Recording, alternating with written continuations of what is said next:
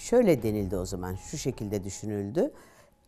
Askerler e, bir e, zemin bulsunlar sivillerle konuşmaya.